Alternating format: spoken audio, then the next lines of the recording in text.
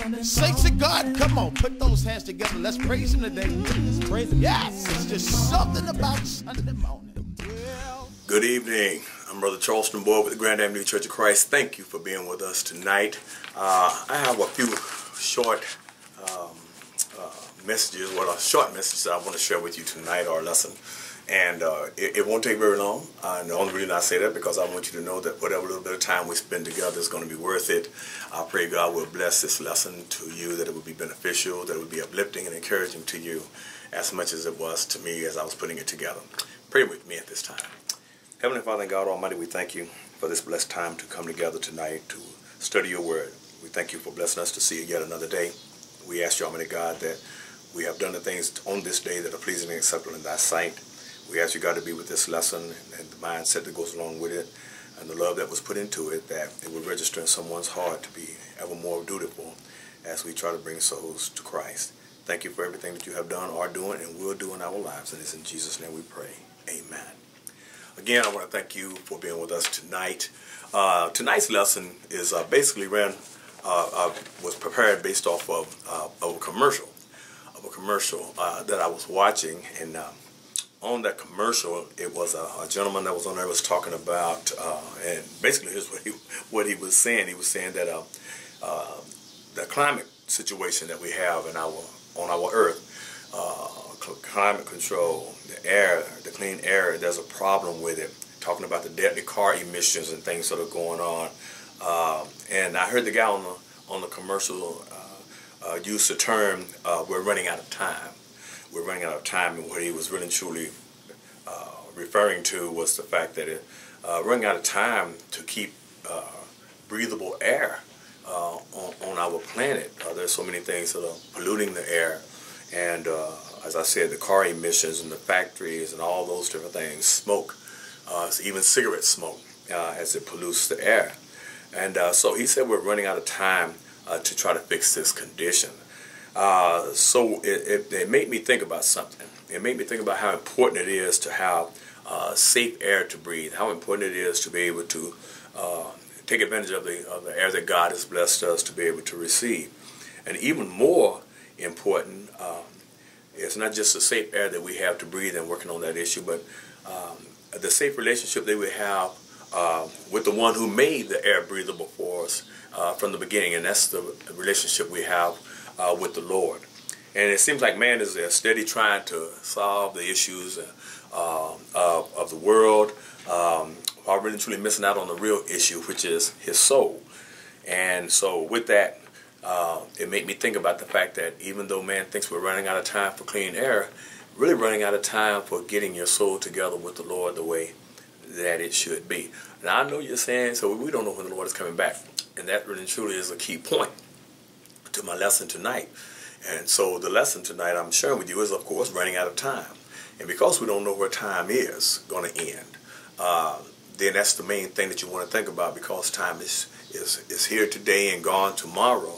Uh, what am I doing in, in essence of trying to make sure that I do what God wants me to do, especially in respect of trying to save someone's, uh, someone's soul. All over the world, uh, uh, there's this problem that man is trying to resolve with, with the climate and everything. But uh, little does he know that it's really a whole, not a whole lot he can do about it. I mean, he can do the things about the car emissions, and that's all really good. He can stop some of the factory uh, emissions that come out with the with the uh, pollutive uh, chemicals that are in the air. And he can do all those things, but God is the one that gave us the air to breathe, and God knows what's going on within the air and he's going to deal with it his own way. And I know there's cities right now in the world that are polluted with, and they're kind of dark and cloudy because of the of the pollution in the air, and people are having to wear certain uh, breathing apparatuses and everything just to breathe uh, good, clean oxygen into their to their blood. But even God knows about that situation, and God will be the one to handle it. So, no matter what man does, it's only God who can uh, do what whatever He wants to, and whenever he wants to and however he wants to. And yeah, that puts me in the mind of a song. But anyway, back to the lesson. Paul told Timothy that there was coming a time when people would not uh, want to listen to the truth. They would not endure sound doctrine. Rather, they would they want to hear the things in which they want to hear. uh, and listen to those things because those things are more uh, applicable to the things that they want to do. And in 2 Timothy chapter 4, verses 3 and 4, and I hope that you do have your Bible because we're going to be turning to these verses and just reading these scriptures just so you'll know that what I'm telling you tonight is uh, coming straight from God's Word. I can tell you a lot of things. I can tell you a lot of opinions, but I don't want to opinionize anything tonight. I want to give you strictly uh, these scriptures from God's Word. So if you have your pen and paper, you can take these down. Some scriptures I'm not going to basically ask you to go to, but I am going to share them with you in reference uh, to what this uh, lesson is talking about, and you can jot those down. But I do want to go to 2 Timothy chapter 4, if you will. And in 2 Timothy chapter 4, and I'm going to begin in verse 3, and where it says, and I'm going to actually be reading uh, from the, as you know, I like to read from the Living New Testament version. Um, so I'm going to share this with you uh, from that from that version. Verse number three says, uh, "For there's going to come a time when the people won't listen to the truth, uh, but will go around looking for teachers who will tell them just what they want to hear. And we know we're in that time now. We know that there's situations going on right now where people are going by what they want to hear versus what they need need to hear. But verse 4 says, they won't listen to what the Bible says, but will uh, follow their own uh, misguided ideas. And that's what, what's happening in the world in the world today. Uh, but for him, uh, but he was telling Timothy, these things are going to happen. But I want you to continue to preach the truth. I want you to continue to be uh, uh, guided by what the word and the scripture says. And he said that back in verse 2 where it says to Timothy, yeah, I want you to preach the word of God urgently uh, to all at all times, uh, whether you get the chance in season or out of season, when it is convenient and when it is not convenient. Correct and rebuke uh, your people when they need it. Encourage them to do right and all the time, uh, all the time by feeding them patiently with God's word. And so he wanted Timothy to be sure that he stayed in the in, in the position of uh, first of all making sure he did things properly himself so that he could be a leader in front of the people, leading by example as he kept the people reminded of the things that they needed to do in walking the Christian walk and in that Christian walk, there's a responsibility that we should be trying to bring souls to Christ. And so he had to make sure that Timothy was was was understanding that, was getting that in his head, and was focusing on that. Um, so with that being said, he wanted to make sure that we as disciples also uh, utilize that same mindset as he taught Paul taught Tim, told Timothy and taught him about the disciples, then the same thing we should be doing today is making sure we stay ready-minded of the things that which God would have for us to do. We're living in those times now. We're living in those times where people want to endure sound doctrine, uh, having engineers and, and want to hear things that they want to hear so they can do things that they that they want to do. But Paul, Paul wanted to prepare Timothy for the hardest fight that Christians have, that we have. And that hard fight is to endure and to fight the for the complete to the complete uh, completion of the course. And that's the main thing. We as Christians, you know, we have our own lives that we lead, live. Uh, from time to time, we should never walk away from being a Christian, whether we're at home, whether we're at work, no matter where we are. But there are times when we find ourselves thinking about the fleshy things and everything, meaning thinking about uh, how we're going to pay our bills. God told us don't worry about those things, what we're going to eat, what we're going to wear, uh, whether or not I'm going to have a job tomorrow, what am I going to do about this this pandemic that's going on, everything like that. Should I go or should I not go? Should my kids go to school? Should they be uh, virtually taught? And all these, all these things are going on, and God knows about those things. They're going on for the Christians just like they're going on for the person that is not a Christian. But Paul let Timothy know that his time was running out. So he wanted to remind him of the things that he should be reminding other disciples of, just like we should be doing and keeping a, a, close eye on one another and watch for those things, uh, making changes. And he made that statement to him in uh, verse 6 and 7 of this same scripture, of this same book. And in verse 6 and 7 of this same book, he said, I say this.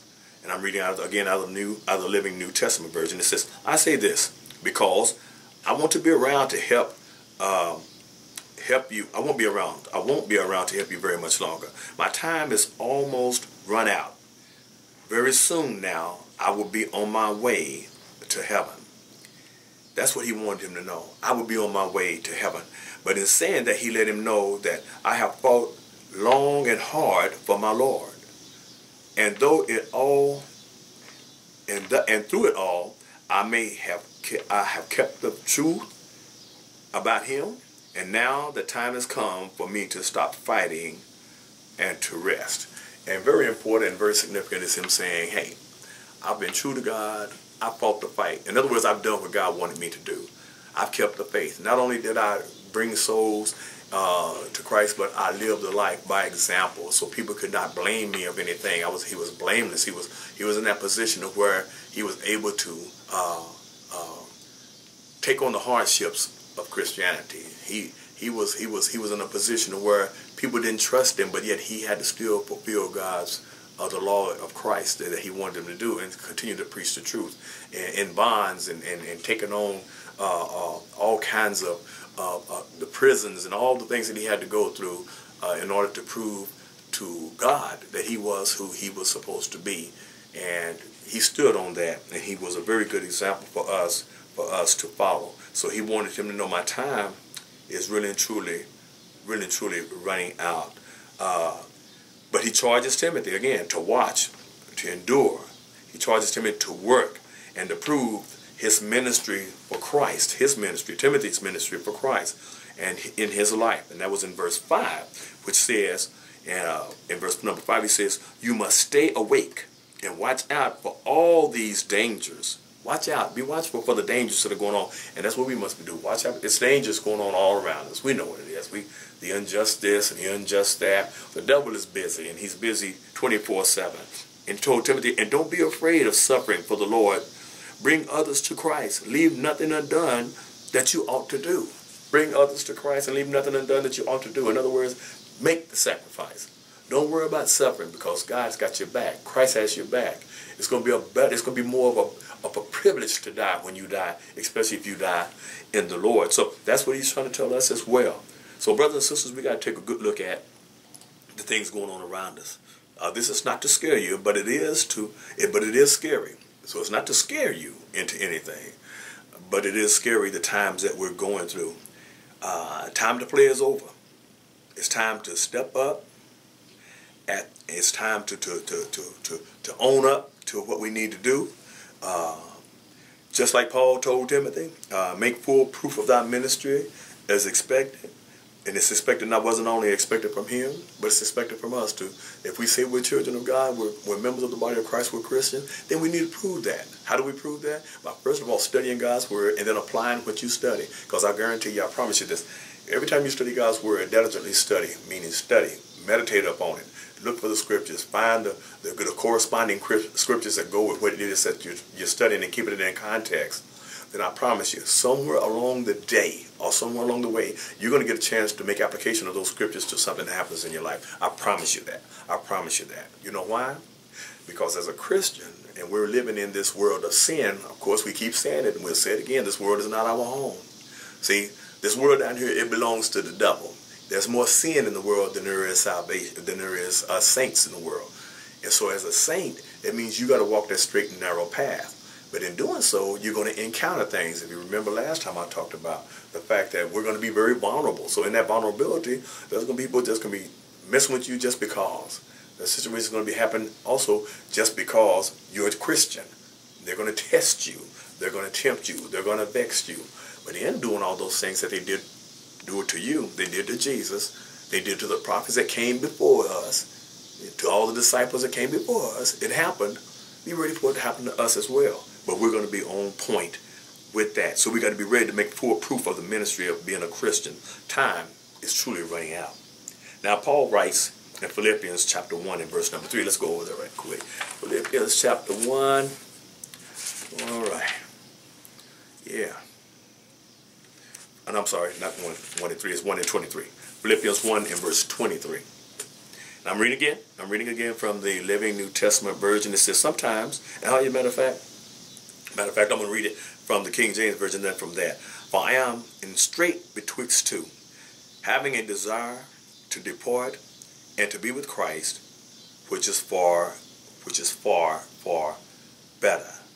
But I'm going to start in verse number 21 in the Living New Testament version down through verse 23. Verse 21 says, For to me, living means opportunities for Christ.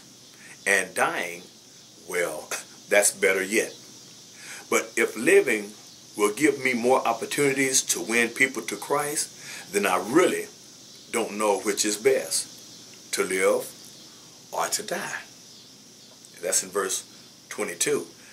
But verse 23 says, Sometimes I want to live, and other times I don't.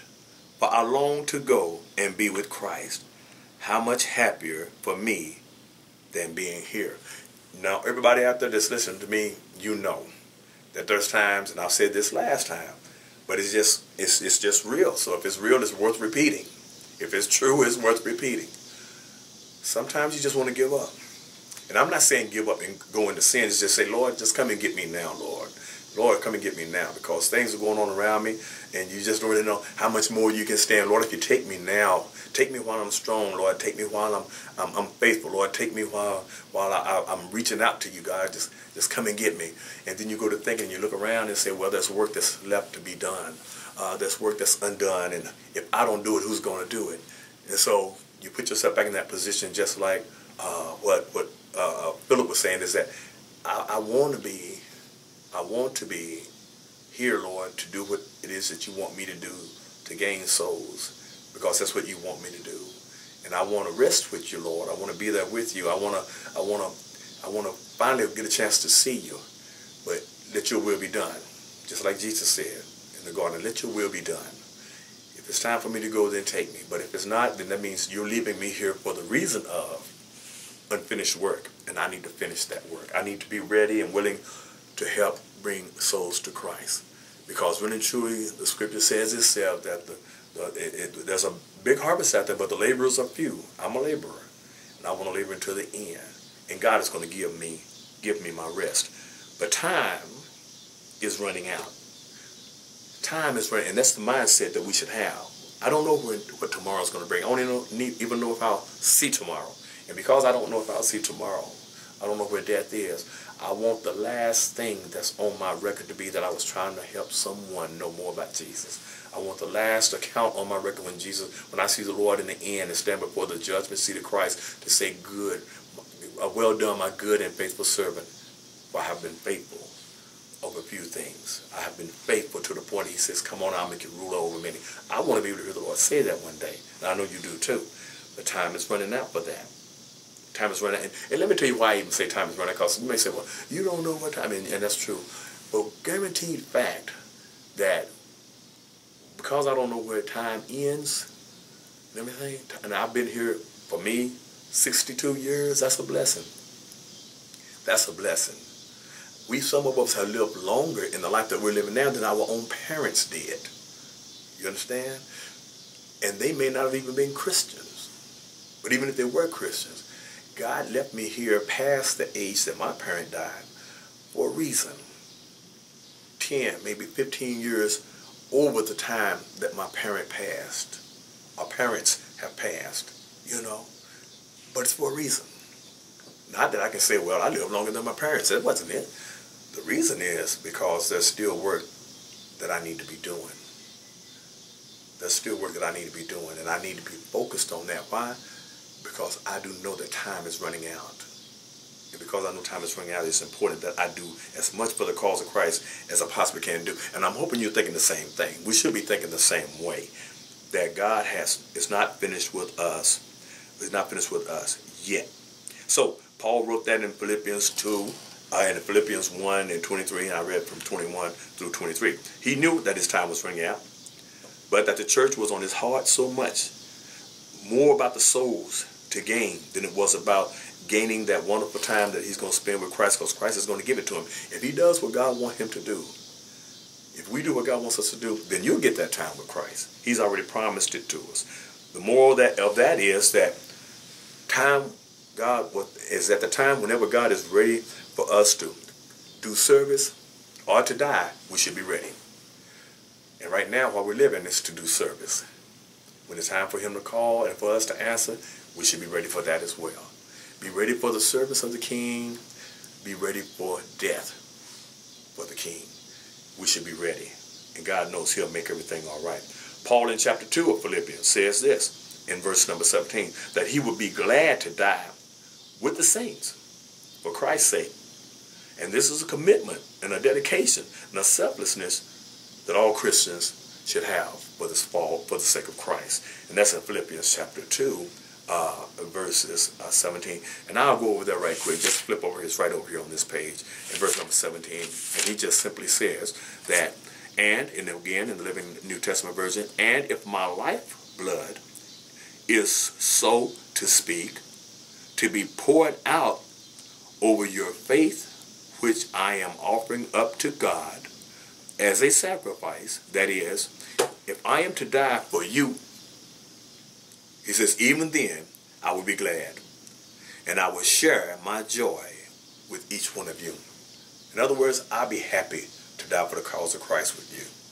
So when I'm here and we're here and we're working this together, and we die together, I'll be glad to die with you for the cause of Christ. Because in that joy, we'll see one another again. We will see one another again. And even Peter realized the duty to Christ to keep reminding the saints of our obligation, of the those saints of their obligation to win souls to Christ.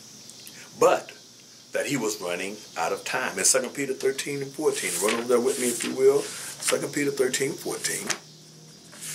And he just, and it just seems like, uh, and I said 2 Peter, yeah, for, uh, 2 Peter, yeah. All right. Chapter 1 and verse 13.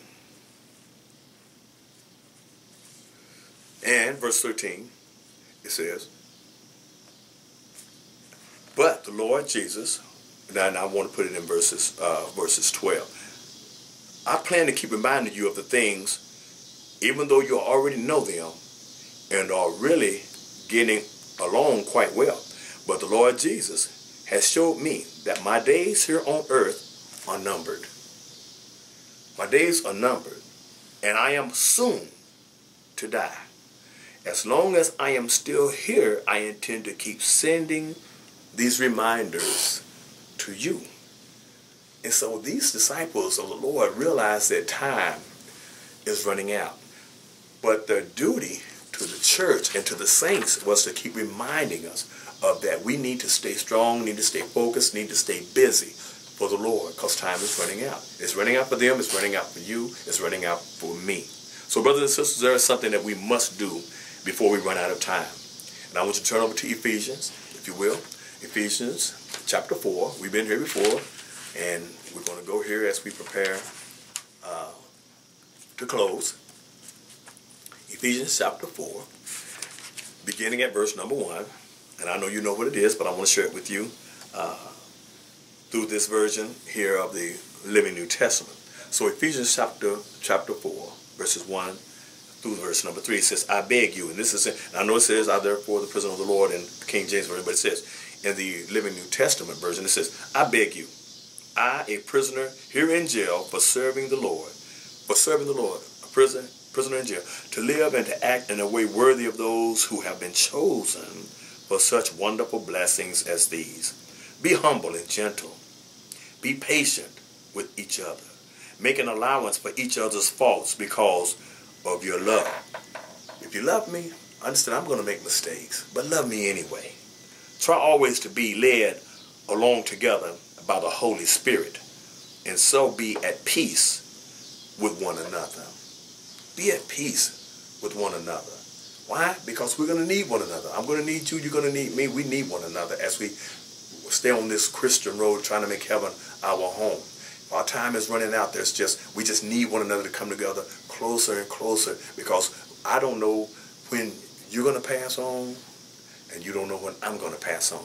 But whenever one of us pass on, then we need to have that relationship one with another that we should have with that person we're trying to save out there, that love that conquers all. Now, dropping down in this same book to verse number 17. verse number 17 simply says, and I'm reading out of, the, out of the same version, Let me say this then, speaking for the Lord, live no longer as unsaved people do, for they are blinded and confused. Their closed hearts are full of darkness. and they are far away from the life of God. Why? Because they have shut their minds against him and they cannot understand his ways. Those are unsaved, but we can't live like that. We can't live like we can't live like we don't have Christ in our lives if we say we're Christians. Their mind is blinded because the, the word of God doesn't say the things that they want to hear.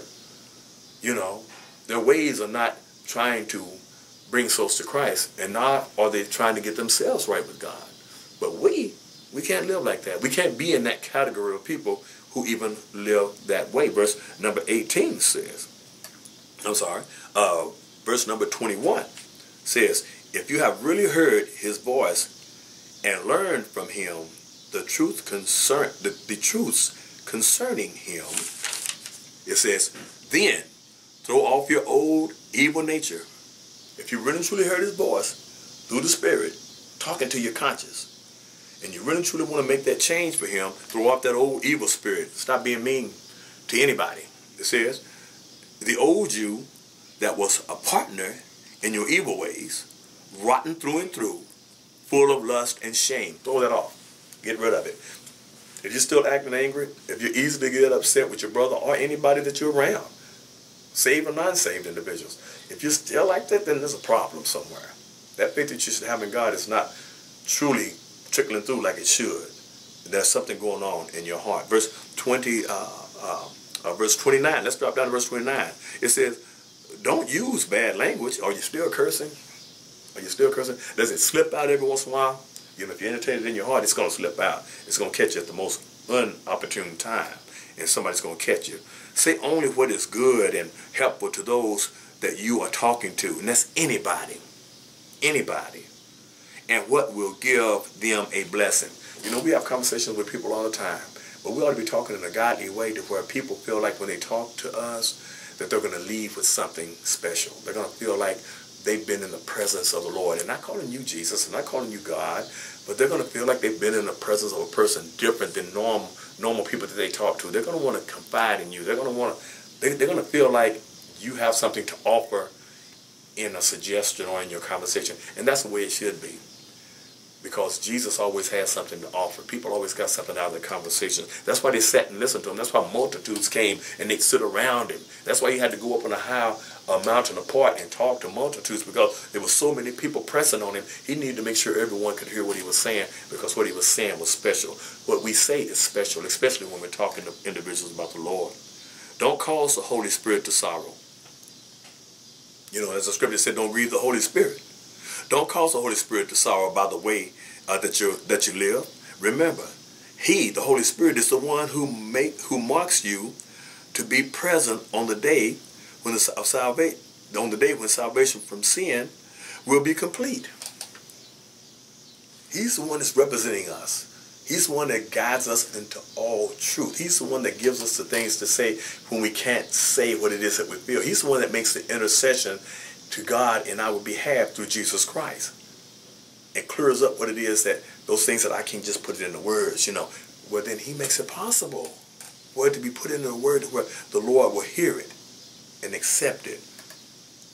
It says in verse 31, stop being mean, bad-tempered and angry, quarreling, harsh words, and dislike of others should have no place in your lives. Shouldn't have no place. You know, and part of that goes back to the vulnerability of our Christian walk, of our Christian life. It should have no place. But you say, well, man, sometimes you just get mad. You do. But you know what? You deal with that in your heart. Same place you got it in, it's where you keep it in and you deal with it through the prayers of the righteous. You deal with it through talking to God in behalf of it. And you know what? A lot of people think that, you know, when I pray and everything, I pray about it and everything, but it just seems like I just still have this. Well, then that tells me your prayer life is raggedy then. It tells me that you don't really truly believe that what you're saying and who you're saying it to is going to give you what you need. And that's doubt. That's doubt. That's just straight up doubt. If you believe that you are who you're supposed to be and whose you're supposed to be, which is Christ's disciple, Christ-like, when Jesus prayed to God, he never did doubt that his Father was going to hear him. Never did. Never did. Because if he'd ever doubted that Jesus, that God would have heard his prayer, then he wouldn't have been praying nearly as much for one, and he never would have been successful in completing his mission for two. For two. And if I'm Christ-like, then we have to complete it. He said it. You have to complete the mission. You have to, from sin, in order to be able to be saved from sin, we have to be willing to complete our course. complete our course. And verse 12 says this. I mean, 32 says, instead, instead be kind to each other, tender-hearted, forgiving one another, just as God has forgiven you because you belong to Christ. What more can I say? It just said it. That's what we're working toward. Time is running out. This is what you're going to receive. Part of what you're going to receive. This is a feeling that you should have before your time runs out. Because why? You're on the battlefield for the Lord.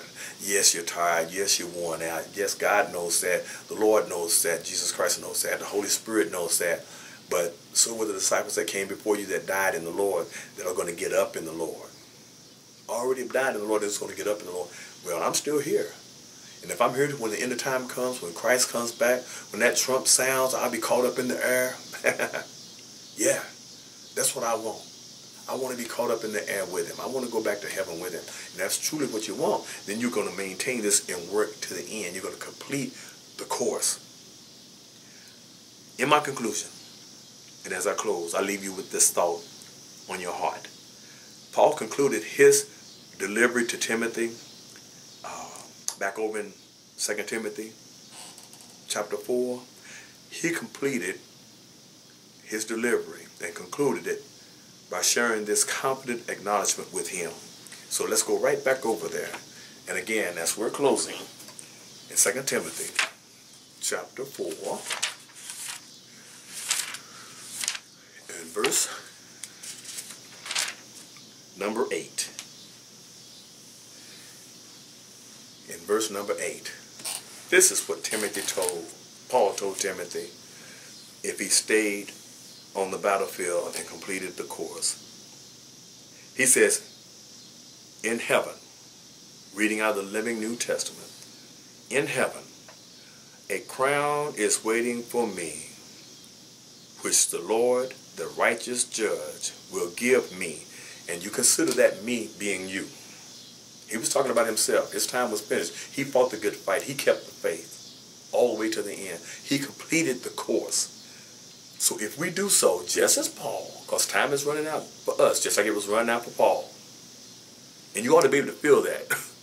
All things going on, this world is not our home. There's a lot of things going on. And it's not to scare you, but it is scary sometimes. But with God, all things are possible. And you don't fear the fear that I'm, I'm afraid, so I won't know what to do. No, you keep working for the Lord, steadfast and unmovable, and watch for how God will work in your life. But he says, which the righteous judge, the Lord, will give me on that great day of his return. And not just me, but all of us, all of those, all of us, all of who it is, whose lives show that they eagerly are looking forward to his coming back again. Now, the only way, brothers and sisters, that you can eagerly look forward to Christ's return is that you know you've got your house in order. You know that you're doing the work.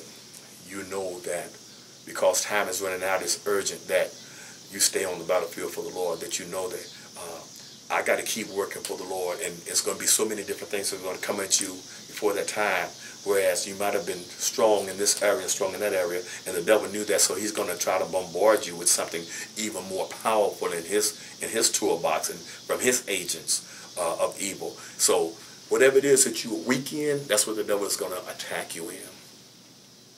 Wherever you're weak, and you know, I'm not trying to judge you, but you know, this area I'm weak in. Maybe I don't study my Bible enough. He's going to utilize that on you. Maybe I don't think about my loved ones the way I should and care about them, he's going to use that on you. Maybe I don't seek to try to save those that are lost when opportunities present themselves. He's going to use that against you. Wherever you're weak at, and he knows your weakness, just like you do, he's going to use that on you. He's going to use it against you. And you're going to see it. But if you're blessed in doing what God wants you to do, you're going to see it and you're going to be able to avoid it. But if you're not doing what God wants you to do, you're going to see it and you're not going to have the strength to avoid it. Because he's stronger in your flesh than he is in your spirit. That's why the scripture says, greater is he that's in you, which is the Lord, should be as Christians, than he that's in the world, which is the devil. He never will and never has had the strength to overcome God. If he could have, he would have. But he couldn't. That's why he's down here doing all this evil stuff and trying to get us caught up in it.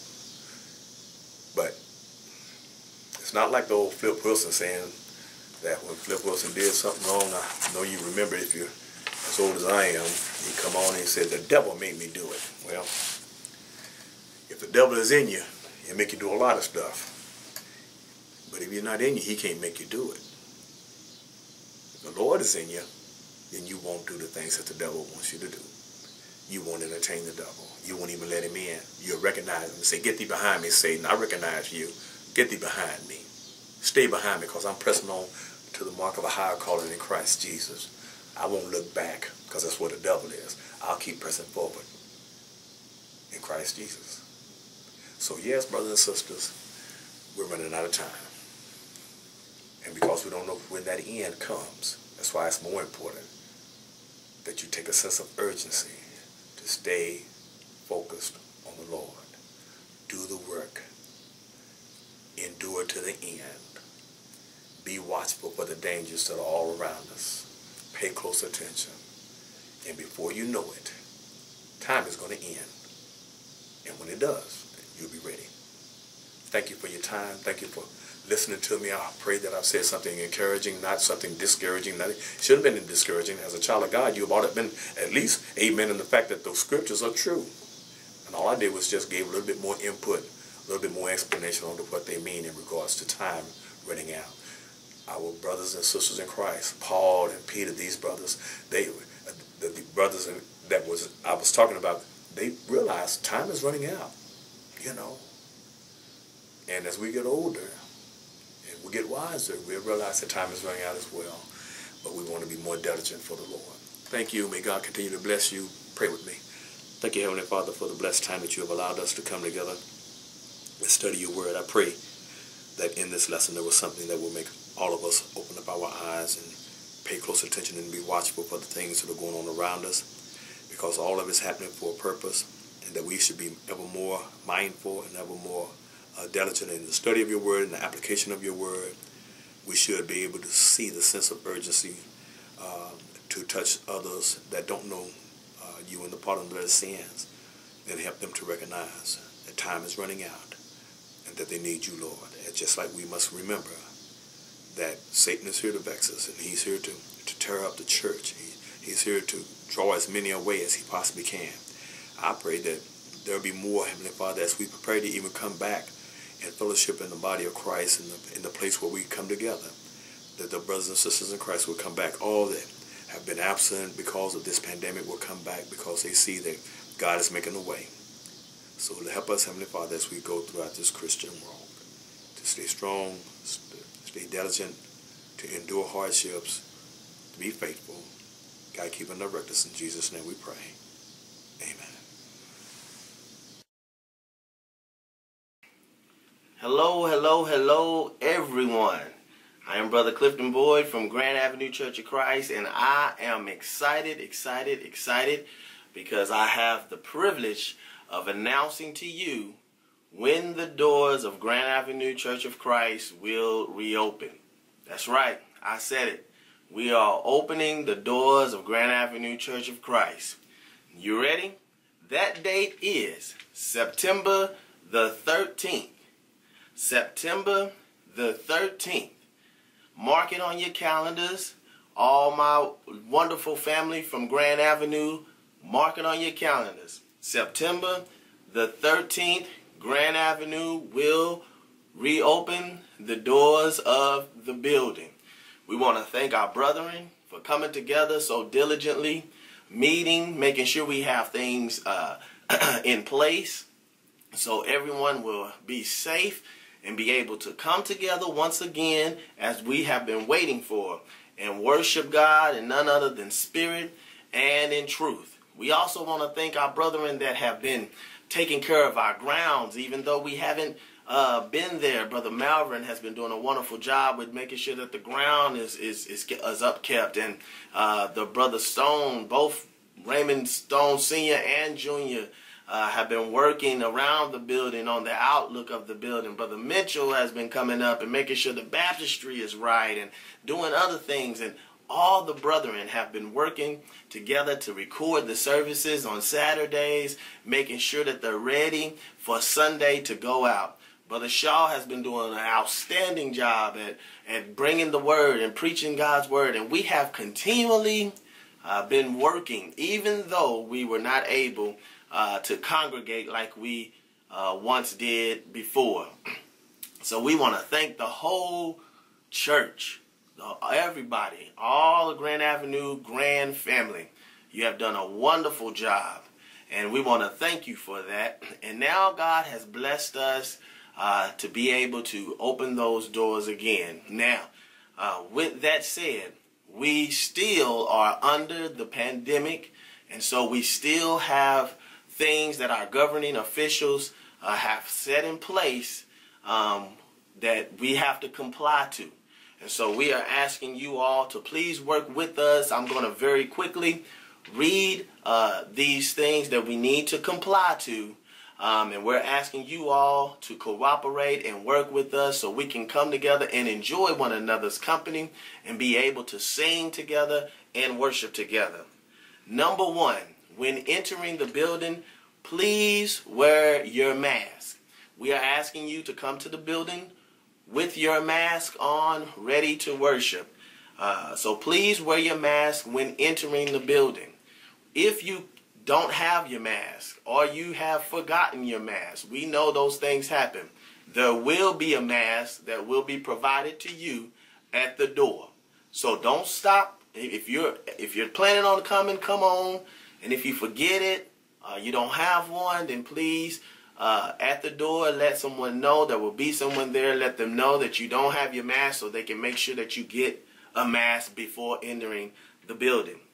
Please refrain from removing your mask while you are in the building. So while you're in the building, please do not take your mask off. Um, and we just want to thank you for cooperating with us uh, and complying to that. We know we're still in this pandemic, so we have to do some things. But these are one of the things, the requirements that we have to do if we want to come back into the building and, and worship together. Please remember that. Now, to all the brethren that will be working during the service, uh, if you are called upon to pray or to sing or to do communion, then you are permitted at that time to remove your mask while you are doing that uh, particular part of the service.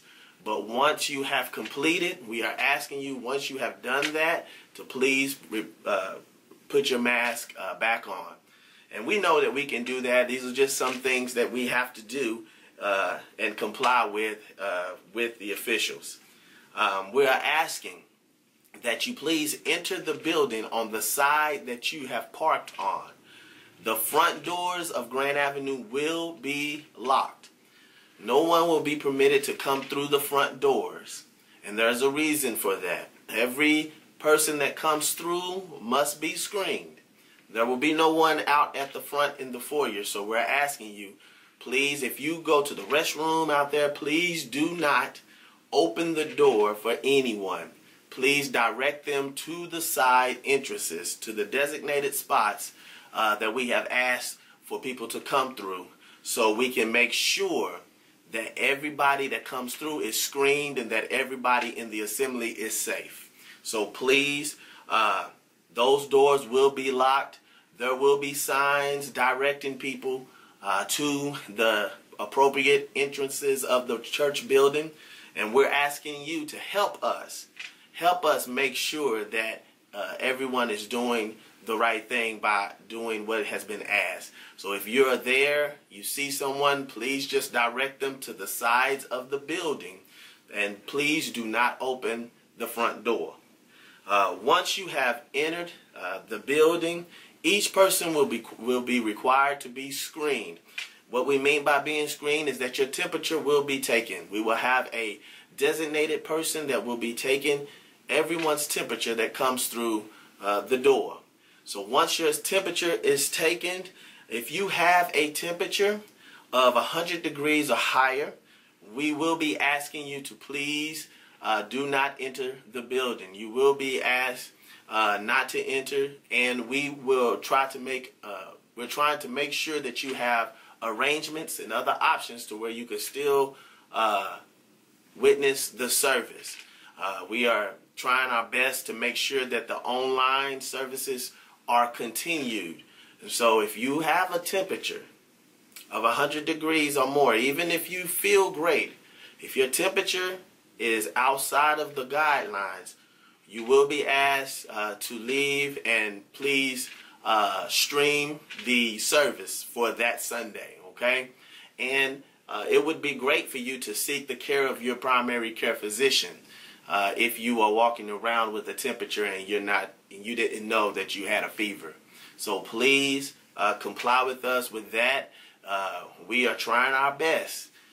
in order to do this, we have to try to put in all the safety precautions that have been governed by our officials. And so we are trying our best to comply with those things. So please, if your temperature uh, is higher, 100 degrees or higher, then you will be uh, asked not to enter into the building and to stream the, the services for that Sunday. Okay? Um, once your temperature has been taken, and you are screened and cleared and it's not 100 degrees and you are cleared, uh, you are now considered screened. Okay? Uh, so you may enter the building for worship service at that point. Uh, each member is required to pick up a service bag. In that service bag, we will have um, your uh, envelopes to give. We will have uh, visitors cards if you if there's a visitor, um, and we will have your communion cups. Okay. So at that point, take your bag. There will be someone there that will have on gloves and a mask, that will make sure that you have the appropriate things in your bag, that will be handing out your bag. Grab your service bag, and then we are asking at that point to please hasten to your seat. We are trying our best uh, to start the service at 10 o'clock. We're only going to have one service on that Sunday. One morning service. There will be no Sunday evening service, okay? One Sunday service on that morning at 10 o'clock. Uh, our Wednesday night Bible classes will still be online. There will be no Wednesday night Bible class at the building. So the only time there will be a service at the building is at 10 o'clock on Sundays. Okay? So once you get your service bag, hasten to your seat and let's get ready to have a wonderful worship on that Sunday.